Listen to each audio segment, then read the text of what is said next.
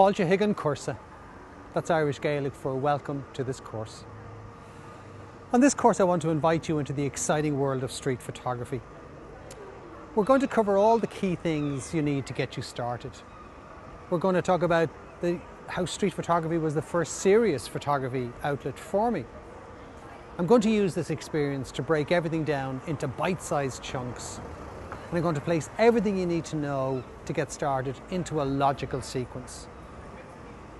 But I still want to make sure that you have fun and that you're going to be buzzed about learning something new.